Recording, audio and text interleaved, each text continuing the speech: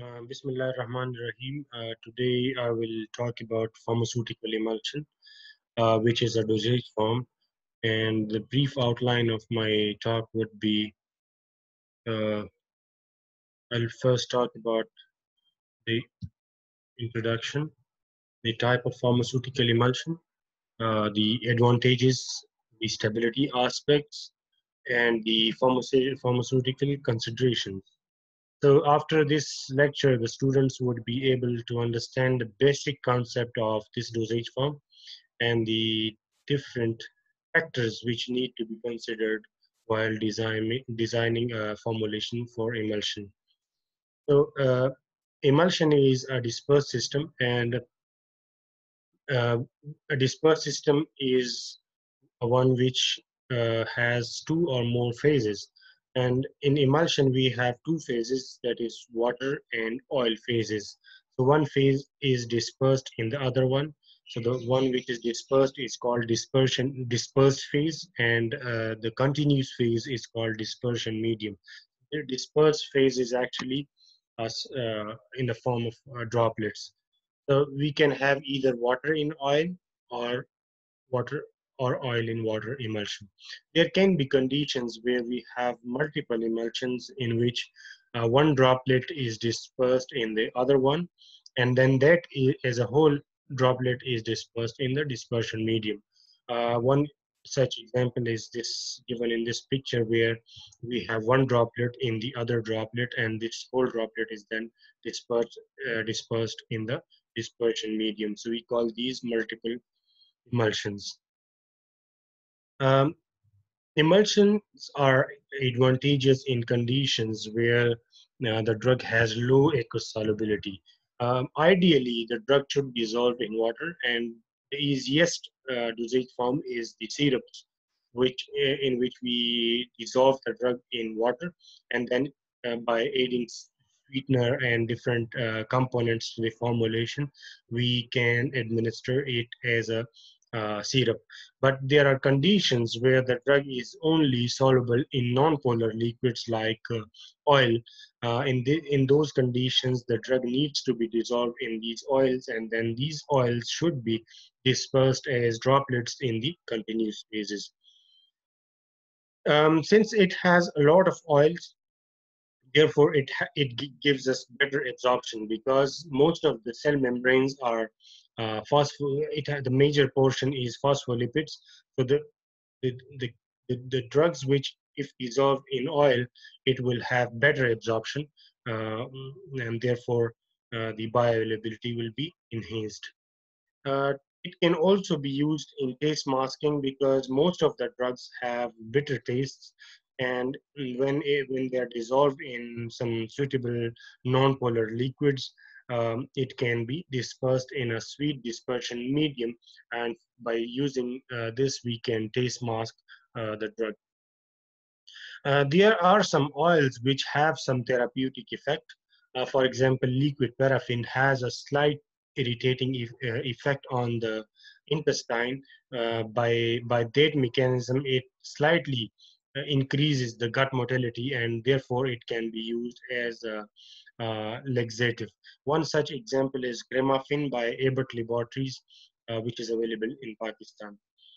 Um, there are also conditions where when we apply a solid drug in the form of a paste or an ointment, it can uh, uh, it can have irritancy on the on the skin.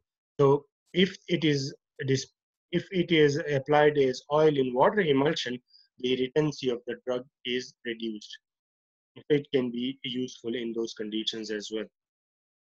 Uh, since it is a liquid dosage form, therefore it is useful in conditions uh, where the patient is unable to swallow solid dosage forms like tablets or liquids. For example, children's, uh, they are unable to uh, swallow tablets. Therefore, it can be, emulsion can be useful in those conditions. Um, there is also uh, the use of emulsions in TPN. Uh, TPN is a total parenteral nutrition, is actually an infusion usually given to the patients where, where the patient is unable to, to, to get food by, by mouth. Uh, so in those conditions, there is a uh, requirement of fats, carbohydrates, and proteins, which are uh, given as infusion. So in those conditions, the fats are dispersed as droplets, and this is called emulsion.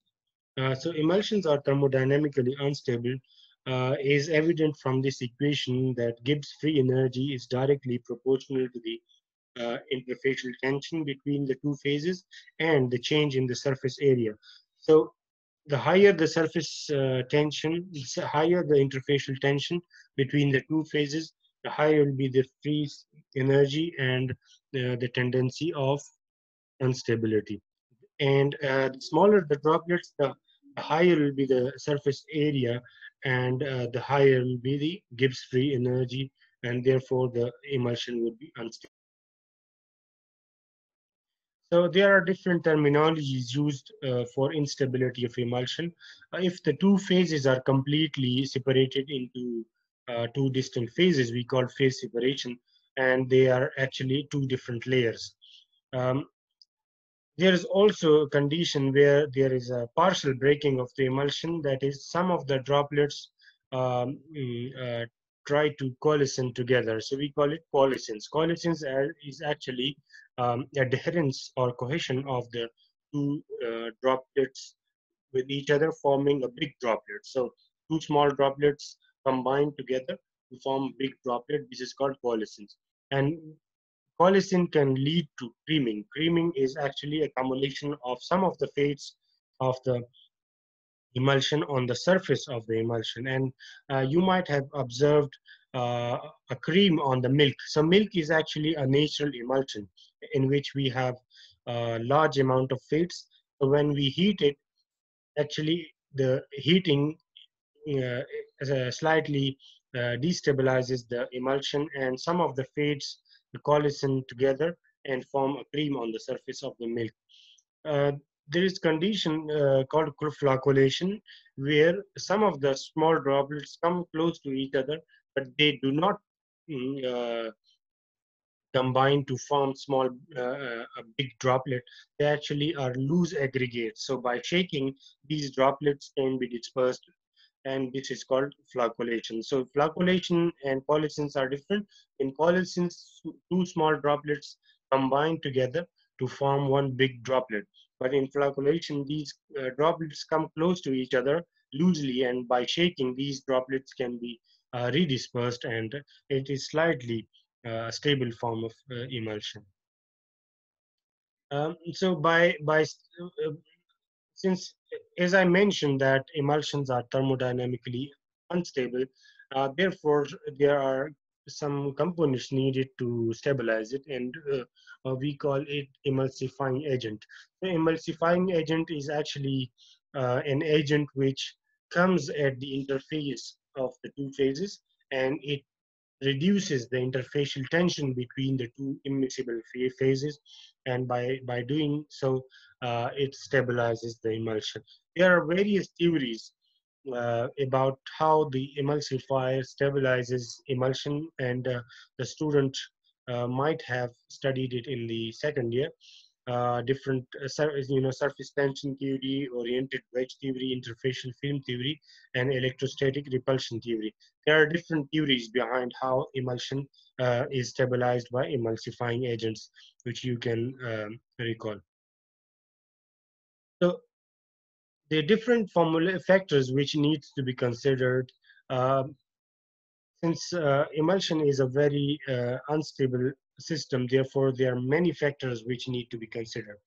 Uh, the, the first one is type of emulsion. The type of emulsion is important for uh, uh, for uh, the type of application. For example, uh, oral or intravenous uh, administration requires oil in water emulsion because oil in water emulsion has low um, viscosity usually. So for oral and intravenous administration, we usually uh, design the formulation into uh, oil and water emulsion. But for creams, uh, we can have um, water in oil because if we increase the amount of oil in the emulsion, the viscosity of the oil will be of the emulsion will be enhanced and it, it, it is not then uh, suitable for intravenous administration. Um, Another important thing is that oil in water emulsion, since the external phase is water, therefore uh, it is non-greasy. So the cream which is oil in water uh, emulsion, they can be easily washed from the surface because the dispersion medium is actually water phase. Uh, the water in oil emulsion is greasy because the, the, the external medium is oil. So it, the washing of the water in oil uh, cream would be a bit difficult. So the, the, volume of internal phase is also important because uh, in water and in oil and water emulsions, the ratio of internal to external uh, phases can be 50%. Uh, that is one ratio one. But uh, for oil in uh, for water and oil emulsion, the internal but for water in oil emulsion, the internal phase should be around 30 to 40 percent. That is, the external phase would be a little higher amount uh, compared to the internal phase for, for proper stability of the emulsion. The droplet size is also important because uh, droplet size increases. If we increase the droplet size, the surface area of the droplet increases. And if we increase the surface area, the Gibbs free energy increases as I mentioned in the previous slide, and it will be lead to it, it, will lead to instability of the uh, emulsion viscosity of the internal and external phases are also important because uh, if the viscosity is too high then it may have difficulty in administration. For example for uh, oral and intravenous application we cannot administer a very viscous emulsion for creams and uh, uh, for creams and topical formulations, we can have a little higher viscosity of the formulation, but for oral applications uh, and intravenous applications, the viscosity needs to be at the lower end. Another important thing is the choice and concentration of emulsifying agent. So uh, the emulsifying agent is actually responsible for stability of emulsion. So um, the solubility characteristic of emulsifying agent is really important. Um, the emulsifying agent uh, usually contain two parts, the hydrophilic part and hydro, uh, lipophilic, uh, lipophilic and hydrophilic part. So if the hydrophilic part is in excess, that is the major part is hydrophilic, the emulsifying agent is hydrophilic in nature and it can be used for uh, oil in water emulsion. But if the major portion of the, hydro, the emulsifying agent is lipophilic, then it is only suitable for water in oil emulsion. So this uh, combination of hydrophilicity and lipophilicity is actually termed as hydrophil, uh, hydrophile lipophile balance and uh, HLB value. Usually we call it by HLB value. So all the emulsifiers have their HLB value, that is hydrophile lipophile balance. Depending on the ratio of hydrophilic and lipophilic parts, the, it has different numbers. So just to conclude, uh, today we have talked about uh, pharmaceutical emulsion briefly, and these are two-phase systems in which we have oil and water phases. Uh, either of these um, uh, system, uh, these phases can be dispersed as small droplets in the other one, and uh, mm, these are thermodynamically unstable. These small droplets can come together to form big droplets. Uh, therefore, a third component is needed, which we call emulsifying agents. And these emulsifying agents, by reducing the interfacial tension between these two phases, can stabilize the um, mm, emulsion and the, the, the, the, the accumulation of emulsifying agent on the interface depends on the solubility of the emulsifying agents. If the emulsifying agent has a major portion is hydrophilic, then it is suitable for oil in water emulsion. But if it has a higher uh, portion of uh, lipophilic part, then it is called, uh, then it is suitable for water in oil emulsion. And this hydrophilic lipophilic uh, ratio is usually explained in terms of HLB value, which we call hydrophile lipophile balance. So this was just brief outline of the uh, brief uh, introduction to the pharmaceutical emulsion. Uh, in the next lecture, I will talk about the different equipments used and the technology uh, behind it and the different issues which come uh, during manufacturing. Thank you very much.